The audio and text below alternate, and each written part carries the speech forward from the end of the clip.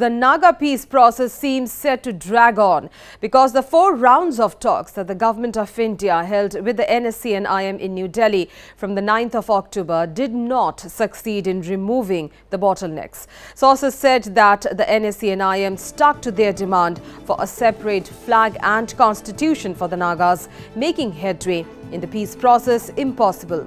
NSCN-IM Supremo Thuingaleng Muivah did not attend the talks for health reasons and according to sources, the other two top leaders V.S. Atem and R.S. Raising are firm on the group's core demand and did not seem flexible.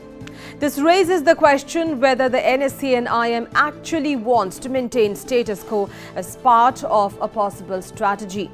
Now, why could the NSCN-IM be interested in dragging this issue?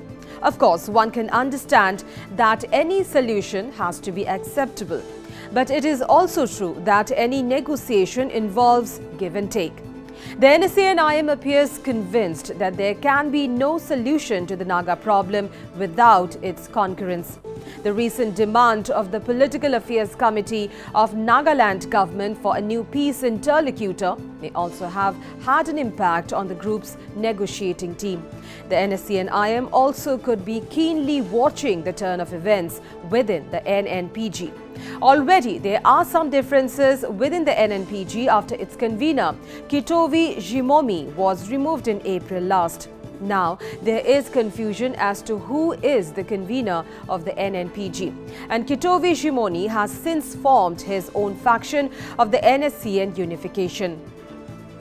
The original NSCN-U of which Alezo Venuh is a top leader and on a ceasefire with the Government of India. Whether the Zhimomi faction of the NSCN-U is also in a ceasefire with the government remains unclear.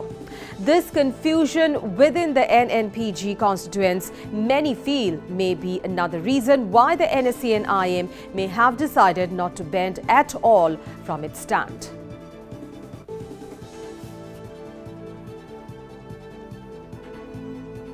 So big story on the Naga peace talks. The Naga peace process seems set to drag on because the four rounds of talks that the government of India held with the NSCN-IM in the national capital from the 9th of October did not succeed in removing the bottlenecks. Sources said that the NSCN-IM stuck to their demand for a separate flag and constitution for the Nagas, making headway in the peace process impossible.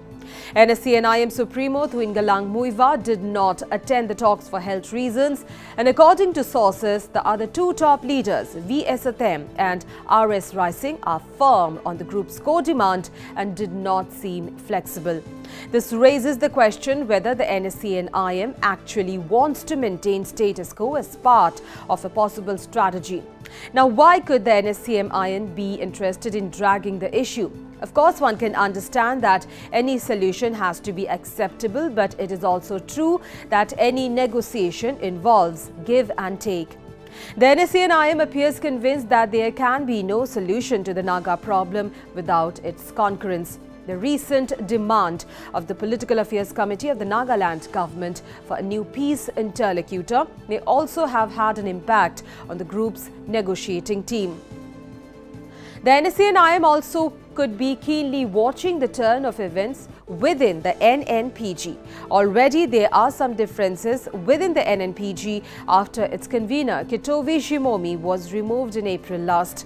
Now there is confusion as to who is the convener of the NNPG. And Kitovi Zhimomi has since formed his own faction of the NSCN unification, the original NSCN-U of which Alezo Venuh is a top leader and on a ceasefire with the government of India. Whether the Zhimomi faction of the NSCN-U is also in a ceasefire with the government remains unclear. This confusion within the NNPG constituents may feel, many feel in fact that may be another reason why the NSC and IM may have decided not to bend at all from its stand.